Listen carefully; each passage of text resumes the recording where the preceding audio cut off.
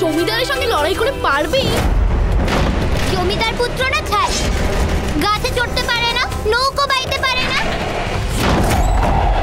রায় চৌধুরী পরিবারের নীলের প্রদীপ আমি নিভিয়ে দেব। এই মালিন